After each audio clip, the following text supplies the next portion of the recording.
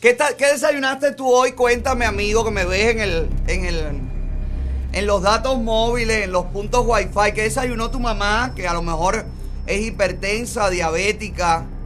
¿Tomaste jugos naturales, orgánicos? ¿Eh? ¿Embutidos? ¿Pudiste conseguir algún embutido? ¿Pudiste? Todo rico, leche, pan, cereales. ¿Verdad que no? No lo pudiste hacer. Y tampoco eres bien visto si vas al hotel aunque tengas dólares. Porque eres considerado chusma, eres considerado que no sabes comportarte. Y yo me pregunto, ¿dónde se educan los cubanos que luego el Ministerio de Turismo considera que no saben comportarse a la altura de los hoteles cinco estrellas y que por eso tienen que ser tratados como clientes de cuarta y quinta? ¿Dónde se educan esos cubanos?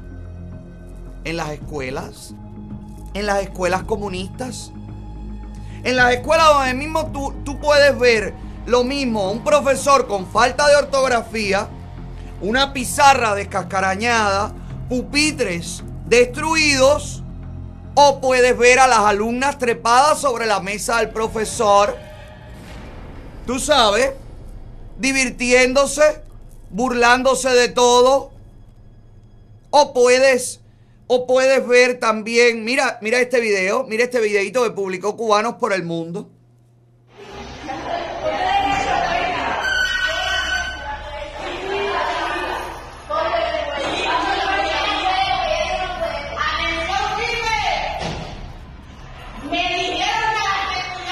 Ya, cuando tú ves esto,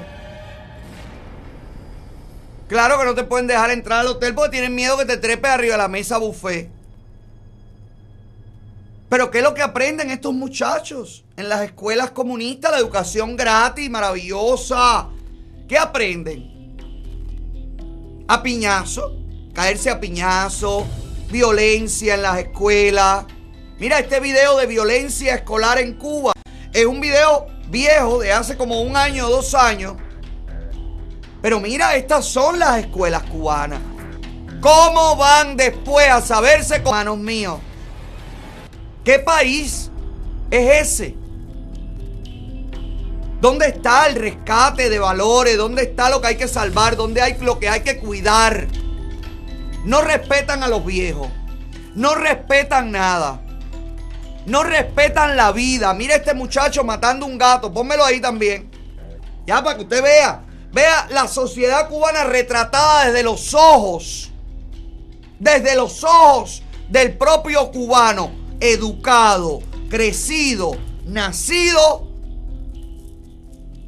en la mierda comunista. Mira aquí.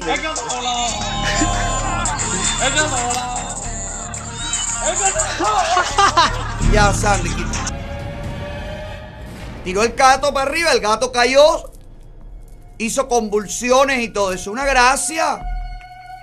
Ese es el pueblo, eso es lo que ha educado o maleducado o deformado el comunismo.